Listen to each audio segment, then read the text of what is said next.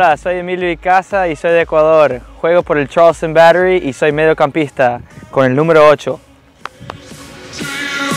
The box it goes! We're equal! Emilio Icaza!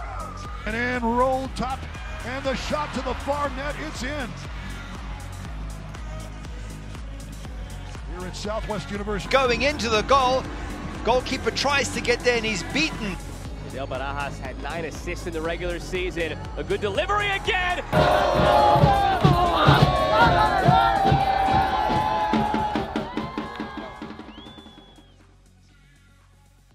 Bueno, ¿cómo están chicos? Estoy aquí, Emanuel, con Top 90, estamos en Charleston y vinimos aquí a hacer una, algo divertido con Emilio, ya que pues queremos introducirlos al nuevo, a- al nuevo canal en español y esperemos que les guste lo que vamos a hacer hoy. Encantado, gracias de nuevo, Emanuel, por tenerme aquí. Muchas gracias por aceptar y tomarte el tiempo, ¿verdad? Una de las cosas que queremos enseñarle a nuestro público es el lado más personal de los jugadores, ¿verdad? Entonces uno, uno como fan va a los partidos, ah, los ve por televisión y de lejos podemos pues llegar a conocer a los jugadores. Entonces hablaremos de lo futbolístico, pero queremos saber más de, digamos, dónde eres, quién tú eres, Ujú. cuándo empezaste a jugar fútbol y todas esas cosas. Entonces, dime, ¿a qué edad empezaste a jugar? Pues la verdad es desde chiquito. Yo fui criado en una casa ecuatoriana, mis papás son ecuatorianos, se mudaron de Ecuador y yo he sido criado aquí en Estados Unidos. Pero he tenido la suerte de tener un poco de ambas culturas. O sea, en mi casa siempre no hablamos español, con mis papás hasta hoy día se habla solamente español. Eh, y hemos tenido la, la cultura futbolística de Ecuador, de Sudamérica. Entonces, pues al mismo tiempo he sido criado aquí, entonces también he vivido los otros deportes, pero siempre era o escoger jugar fútbol o no vas a comer. Digamos, ¿cuántos años tenías tú cuando descubriste que, like, wow, me encanta el fútbol? Es lo que yo quiero hacer. Tal vez te gustaba el béisbol, pero el fútbol fue lo que like, te hizo querer ir Sí, desde, desde los tres años. ¿Tres años? Sí, estoy seguro de que desde que era, tenía un año estaba ahí enfrente de la tele para, para que vea, para que aprenda, para que sienta Sí. lo La que es pasión. vivir el, el fútbol. Sí, sí,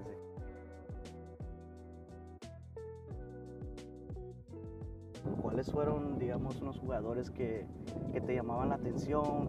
¿A algún jugador, algún truquito que viste ahí? Como por ejemplo, yo cuando era pequeño, yo crecí viendo pues a Cuauhtémoc Blanco, entonces la Ujú. cuautemilla, ¿verdad? Ya, ya. Y es algo que tal vez no funciona, pero es interesante. Claro. Entonces, eso es algo que a mí me llamó la atención cuando era niño. Sí, sí. ¿Qué historia? Yo desde chiquito veíamos bastante fútbol argentino. ¿Argentino? Entonces, en ese tiempo estaba Rodrigo Palacio, Palermo, Juan Román Riquelme. Era la época de oro. Entonces, esos eran mis jugadores favoritos.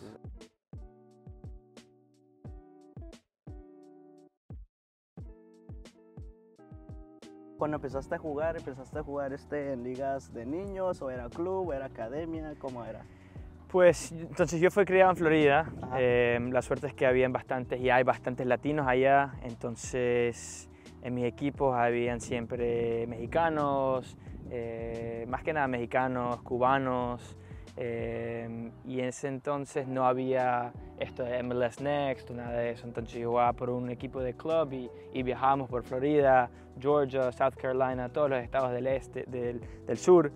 eh, jugando en un equipo muy competitivo. Pues tú tienes 26 años, ¿verdad? Ujú. Si no me equivoco. 26 años y, y nuestra generación, porque yo tengo 27, y sí sufrimos mucho de eso, de la falta de desarrollo en futbolístico en, lo que es este país, que bueno, todo el mundo sabe, es, es una, una infraestructura complicada. Es verdad, porque ahora miro, digamos, lo- los juveniles o los chicos de la academia que vienen, pues tienen la oportunidad de ver a un equipo personal como Charleston Battery o Charlotte y ser parte del equipo desde 15, 16 años y ver, mira, si me aplico bien, puedo llegar a jugar en este equipo y eso es algo que nosotros no teníamos. Eh, me parece que no sé si era el 2018 2017 que vino a Orlando City, eso igual me queda dos horas. Entonces no, no es que había tanto tantos equipos en Florida. Sí. Y lo- luego la barrera también de que sí estaba el Adidas, pero no había otra manera, había que ir al college. Claro. Y, y para lo que es uno como hispano, como latino, que tal vez no tiene los recursos Exacto. o digamos la, la guianza de unos padres que pues saben la cultura, siendo inmigrantes de primera generación tal vez no sabían la manera. Exacto. Entonces es, es muy, es bueno ver el, el crecimiento en el fútbol, ¿sí o no? Sí, definitivamente. Creo que en los próximos 3, 4 años con Copa América, con el Mundial, van a seguir metiendo más plata, más plata y más equipos, más estructura, más instalaciones. Sí. Eh, se va a pagar más en la primera, se va a pagar más en la segunda, se va a pagar más en la tercera. Entonces va a ser más eh, realístico ser profesional.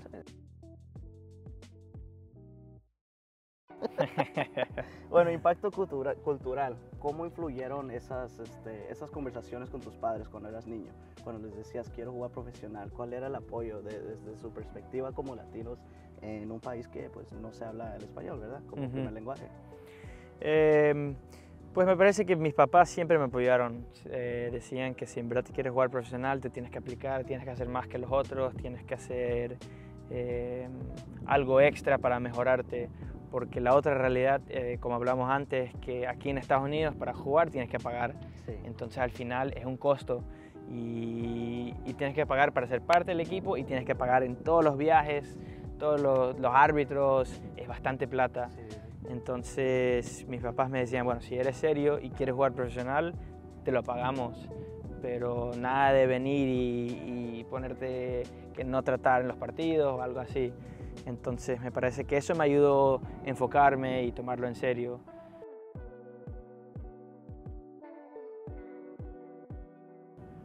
El fútbol es un, es un deporte bonito, pero cosas que uno no ve como fanático es que los sacrificios que uno como jugador hace. Yo no sabría contarte de eso, pero yo siento que tú sabes algo de eso. Sí, sí. O sea, obviamente eh, es una bendición poder venir estas mañanas con este clima, Sí. en esta ciudad, poner a entrenar, mientras el resto del mundo está en una oficina o trabajando en- de 8 a 5. Sí, sí. Eh, tenemos eso de ventaja, pero al mismo tiempo es todo el año que uno está trabajando, no hay chance para ir a matrimonios, funerales, no puedes ir ni salir de la ciudad, bastantes veces necesitas entrenar todos los días, entonces digamos hay ciertas cosas buenas y ciertas malas, pero es un sacrificio bastante de que uno pierde momentos especiales con familiares, con, con amigos, entonces pues obviamente al final uno dice, bueno, es parte del trabajo y, y para jugar un sábado o un domingo eh, vale la pena, Sí. pero como dices, sí hay bastante que se sacrificia.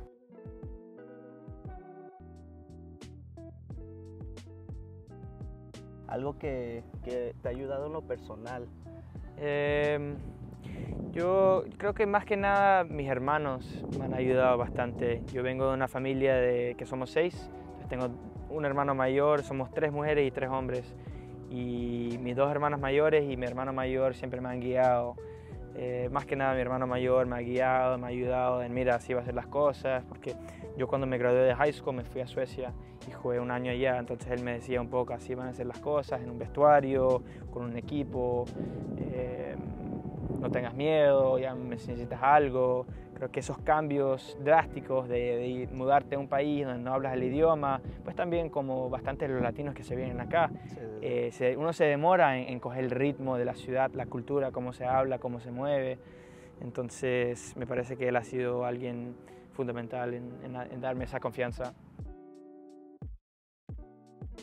El fútbol es algo que te brinda y te, y te quita tanto tiempo de, de cosas que tal vez a ti te gustarían hacer más. Ujú. Como, por ejemplo, a mí me encanta jugar, pero no hay Claro. tiempo, hasta te pone gordito, pero, pero así pasa. Pero, ¿algunos hobbies que tengas fuera del fútbol? Eh, bueno, yo creo que en eso tenemos la suerte de que si encuentras cosas que hacer en tu ciudad, hay full tiempo, digamos, desde las 12 o la 1 y después que has hecho algo de recuperación, estás libre. Sí. Entonces, si quieres trabajar algo extra, si quieres estudiar, si quieres... eh, yo, yo hago un poco de diferentes cosas solamente para estar eh, involucrado con la ciudad, con la comunidad. Sí. Eh, por aquí a veces hago un poco de coaching para tratar de dar a, a la, a la próxima generación. Eh, también estudio, estoy haciendo mi masterado, entonces esas son cosas que uno como futbolista que no tienes tantas horas de trabajo puedes hacer. Pero digamos, cosas como viajar, eh, mi esposa ahorita trabaja y viaja bastante, entonces me encantaría viajar los fines de semana para visitarla, eso nunca, nunca lo va a poder hacer. Es difícil. Claro, Sí, entonces... pero a ver, cuéntanos en el Instagram, vimos este que compartiste imágenes de, de tu viaje, ¿qué era? ¿África? Sí, a África. Cuéntanos que, cuál- cómo era estar rodeado por leones y cosas así. No, increíble, en verdad, fue algo único. Fue nuestra luna de miel que nos casamos en Ponte en julio, pues, entonces tuvimos que planear entre la, entre la temporada cuándo íbamos a tener un break para poder casarnos. Entonces nos tuvimos que casar un miércoles. Eh, Yo me casé un jueves. un jueves, bien, bien. es normal. Es normal, entonces, eh, pues ahí teníamos que esperar hasta que se acabara la temporada, pero increíble, en verdad fue un país muy, muy lindo, un paisaje, el ver los animales tan cerca y estar conectado, en verdad cambia tu perspectiva en, en qué es importante en el mundo, cuando uno dice conserva el agua o no botes eso ahí, uno ve que en verdad es allá que Sí. uno debe de, de tratar de conservar un poco más lo Sí, que, lo que lo tienes que no- aquí.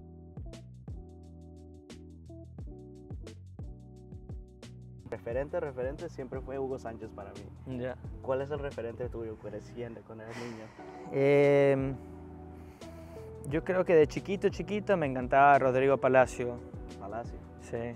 Y después de eso, tal vez cuando ya buscaba un jugador del medio campo, me gustaba Andrés Iniesta. Andrés Iniesta. Sí. Ah, ¿Cómo olvidar a Andrés, verdad? Claro, claro. Sí, ¿Cuántos años teníamos cuando ganó la Copa 2010? Sí, 14 años tenía, Ajá. igual, 14, 15, ¿verdad? Exacto.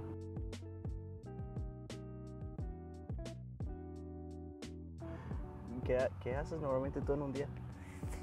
En un día normal, pues me levanto tipo siete y media, eh, tomo café, veo algo de las noticias, eh, desayuno, eh, después vengo, entrenamos, hacemos algo de, de lo que sea que, que estemos trabajando con el equipo.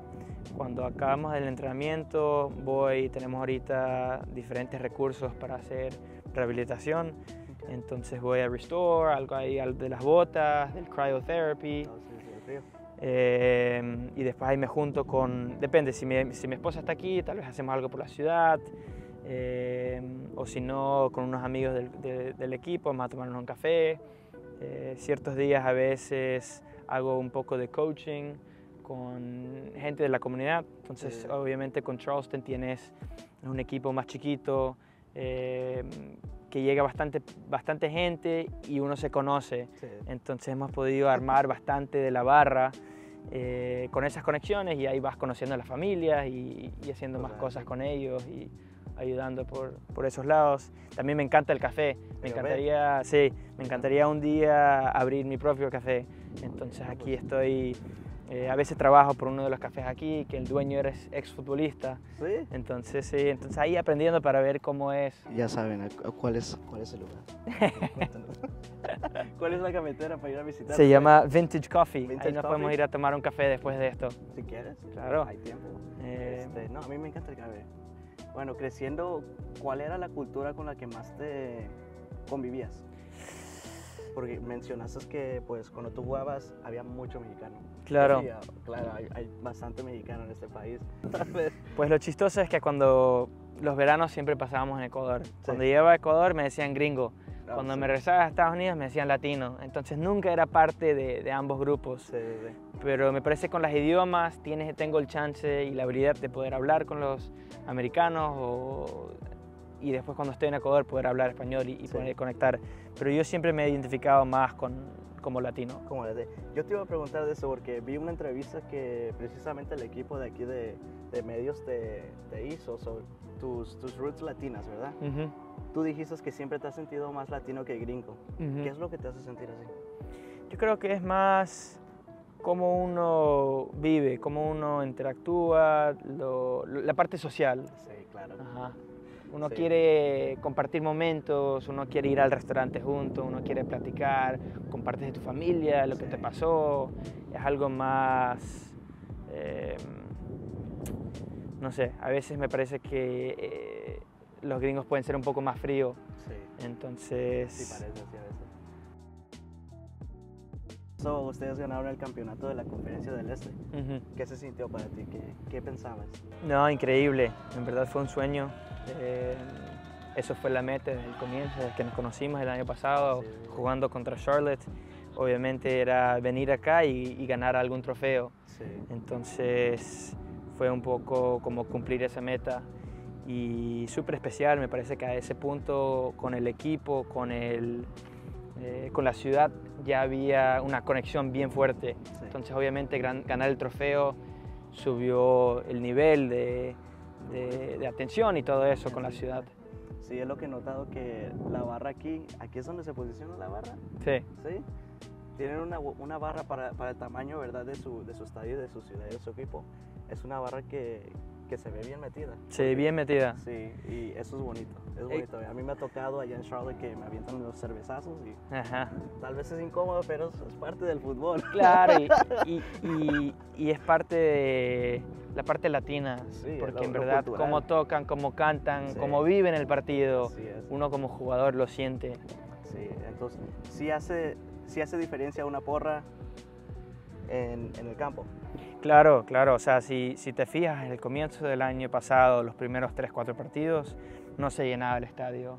Ya cuando estábamos en la, en la final, el estadio estaba repleto y, y lleno de latinos. Más que nada, me parece que Charleston ha conectado más con, con la- las comunidades latinas para decir, oye, aquí tenemos un equipo de fútbol, tenemos a unos tres mexicanos, tenemos un ecuatoriano, tenemos unos colombianos, vengan, conozcan, vengan a, a vivir lo que ustedes vivían en sus países, Sí, claro. que se puede conseguir acá. Hablamos de, de que ganaron el campeonato del- de la conferencia este, Ajá. pero ese partido contra Phoenix, ¿qué Ah. pasó? No, todavía lo tengo acá atrás, todavía no duermo. Derek Dodson. Oh, no! Phoenix wins it! No, no, pero te, te tengo que preguntar porque uno cuando está joven, ¿verdad? Y empieza a jugar fútbol, uno pierde. Claro. ¿Qué le dirías tú a un joven, ya que tienes la experiencia de haber perdido esa final de una manera que pues se vivió? Estaba, estaba cerquita, estaba cerquita, pero no, no, no pasó. ¿Tú qué le dirías a un joven así? Digamos que, que pierde un momento así y tal vez se desanima y ya no quiere seguir.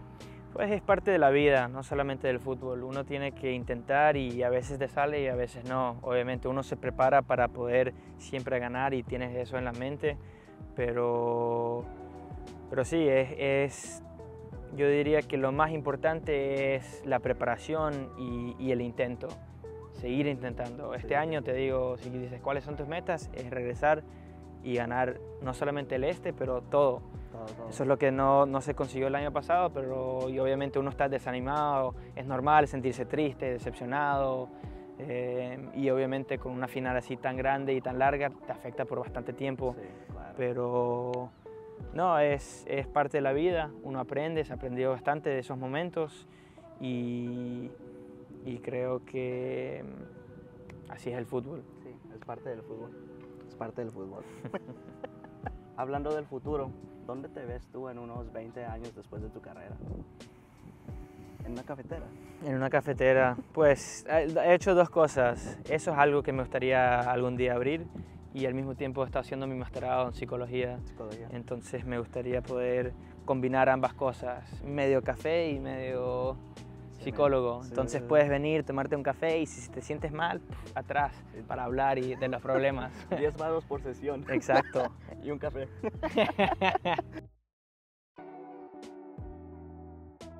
¿Qué música escuchas? Eh, bastante música, reggaetón me gusta bastante Reggaetón. Y un poco de indie. Uh, el indie. Ajá. Sí, ¿Cuál es tu banda favorita? Mi banda favorita una de que ahorita, más escuchas. yo diría Tame Impala. Tame Impala. Tame Impala, Ok. That's cool. ¿Fercho o Bad Bunny? Bad Bunny. Bad Bunny. Pe- Peso pluma Bad Bunny. ¿No escuchas este, así corridos, cosas así? Eh, sí, también. veces? Sí, sí, a veces. No, pues hay mexicanos. tengo Sí, exacto. Este, ¿Escuchas country? No, No. Ah, Vamos a blipear eso. corta, No corta. pueden saber. Está en el sur y no escucha country. Eso es, el, eso es lo único que no puedo, que no resisto. Sí, nada, no, está bien, está bien. Lo que es comedia, español o Ajá, inglés. ajá, yo diría inglés. ¿Inglés? sí. Ya Por eso soy más gringo a veces. Por cosas eso te así. dicen gringo en Ecuador. Exacto, por eso me dicen gringo. Por último, peleo Maradona. Maradona, me voy a quedar con el fútbol argentino. Este es Emilio y Casa y esperemos que de esta entrevista pues lo llegaran a conocer a un nivel más profundo. Y esperemos que él haya dicho algo que, que también inspire a, la juventud a jugar más el fútbol, a perseguir el sueño ya que pues sí es caro, viene con sacrificios, pero como él lo dice también tiene tantas cosas bellas que, que, pues, el fútbol da. Emilio, ¿dónde te podemos encontrar? Eh, en Instagram o, o Twitter o Facebook, yo encantado, en verdad, gente me escribe todo el tiempo de cómo es ser futbolista o me puedes ayudar con esto o otro, o mándeme una camiseta. Yo siempre encantado de poder ayudar en- en- con los recursos que podemos. Sí, bueno, ahí lo pueden encontrar él y a mí me encuentran en Top United Días.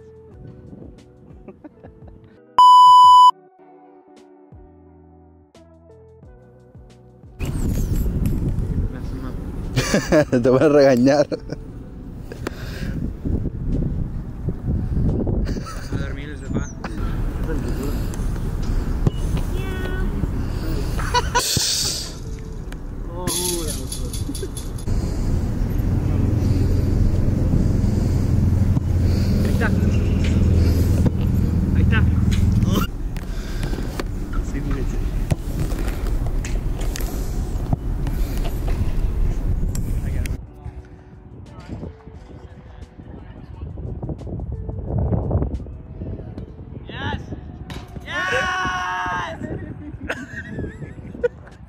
your money, man. Life goes Though on. I'm hopeful.